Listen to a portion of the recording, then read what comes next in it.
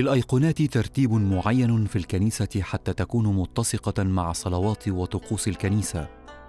ويكون لكل مكان في الكنيسة موضوعات خاصة به فمثلا حامل الأيقونات عليه أيقونة السيد المسيح المعلم وأيقونة أخرى للسيدة العذراء وفوق الهيكل أيقونة العشاء الأخير وأيقونة المسيح المصلوب الذي بدمه كان لنا الفداء. وفي صحن الكنيسة أيقونات لموضوعات مختلفة من الكتاب المقدس والمعمودية لها موضوعات أخرى مثل عماد السيد المسيح وعبور موسى البحر الأحمر. ويكون الفنان القبطي ملتزم بالموضوعات الخاصة بالكنيسة وكذلك بالمساحة المطلوب الرسم عليها.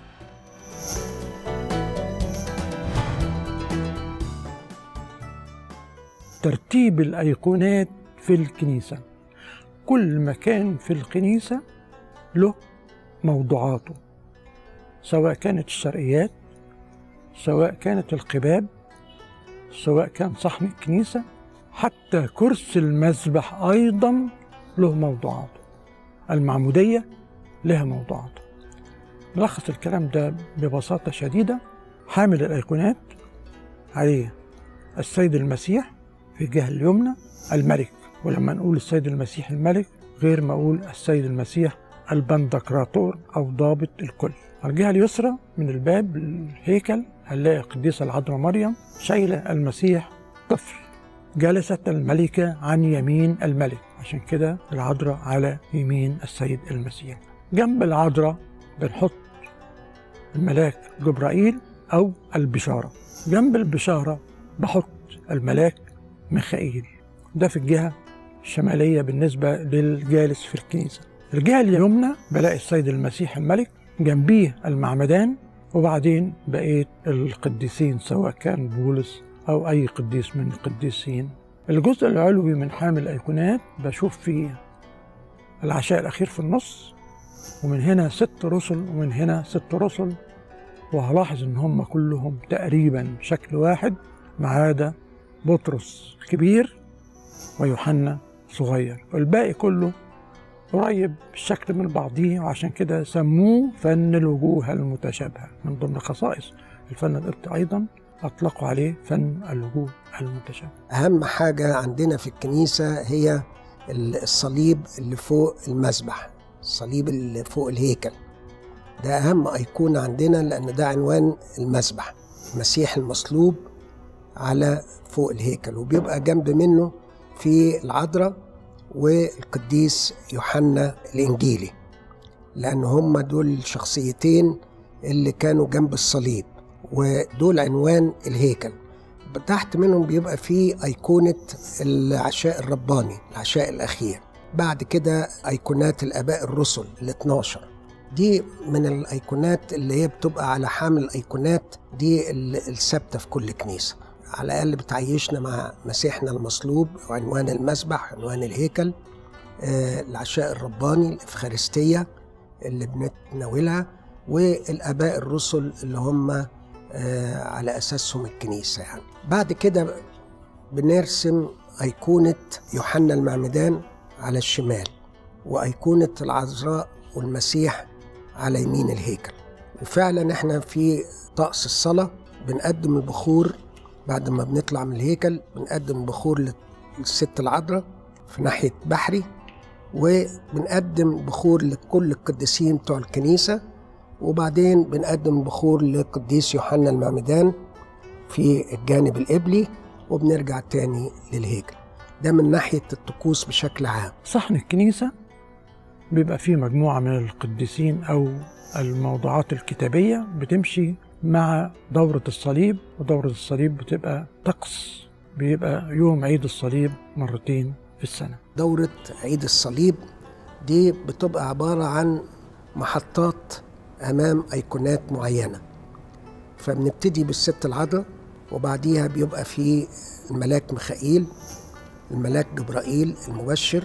فبنحرص إن إحنا نحط الأيقونات دي في مجاورة عشان لما بنيجي نعمل الدورة دي بنمر عليها. وبعد كده في بيبقى أيقونة ماري مرقس وأيقونات الرسل وأيقونات ماري جرجس وأيقونة الأنبا أنطونيوس وهكذا يعني. الجزء العلوي من الكنيسة ممكن يتحط فيه أسبوع الآلام كله بدءا من جسيماني وبعدين قبلة يهوذا لحد ما تنتهي بالصلب الهيكل له موضوعاته أيضا كلها متاخدة من سفر الرؤيا أهم موضوع فيه هو البندقراطور والبندقراطور مع معناه ضابط الكل. حواليه الأربع حيوانات الغير متجسدين. يوحنا الحبيب والشعار بتاعه النسر لأن النسر ملك الطيور. وإنجيل يوحنا اتكلم عن لاهوت المسيح واتكتب للعالم كله. هنلاقي أيضا الإنسان رمز إنجيل متى؟ وإنجيل متى اتكلم عن المسيح كإنسان واتكتب لليهود. الشعر ثالث الأسد. وده بيرمز لماري مرقس لأن ماري مرقس اتكلم عن المسيح كملك واتكتب للرومان الشعر الرابع طور وده بيرمز للوقا ولوقا اتكلم عن المسيح كذبيحة والأنجيل بتاعه موجه إلى اليونان. من الحاجات الموضوعات أيضا الهيكل ال 24 قسيس قاعدين على كراسي تيجان من ذهب مجامر من ذهب بيكمل موضوع البندقراطور. في عندنا التجلي وبرضه يصلح للهيكل. القبة أيضا لها موضوعات. السيد المسيح في الوسط فارد إيديه بيدي البركة للشعب. باختصار في ترتيب. في ترتيب بن بن بنلتزم بيه عشان يتماشى مع الطقوس الأخرى اللي بنمارسها يعني.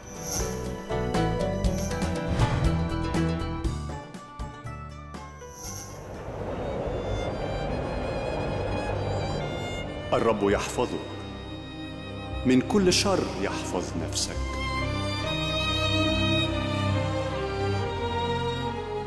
الرب يحفظ خروجك ودخولك من الآن وإلى الدهر.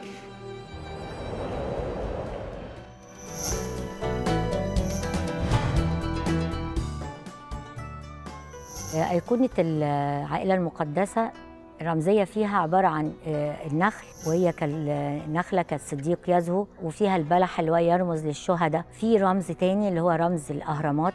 ويوسف النجار لازم يترسم بشكله العجوز لأنه كان ساعتها حوالي 90 سنة. وبعدها بنرسم النيل وبعد النيل في النيل بنرسم أربع سمكات. ده دليل على أن اتذكر في الكتاب المقدس العائلة المقدسة في الأربع أناجيل. وبنعملها باللون الأحمر لأن رمز للسيد المسيح. وفي كمان 24 زهرة دي رمز لل 24 باشانس اللي هو دخول المسيح أرض مصر. كمان بنرسم العذراء العين لوزية كبيرة والبق صغير العين لأنها تنظر الإله وبنعمل لها وشها صغير عشان هي كان سنها آه، حوالي 13 14 سنة. وبنعمل السيد المسيح وهو داخل مصر كان سنه حوالي أقل من سنتين وهو خارج كان حوالي من ثلاث سنين ونص لأربع سنين. ودي كانت عبارة عن رحلة العائلة المقدسة لمصر.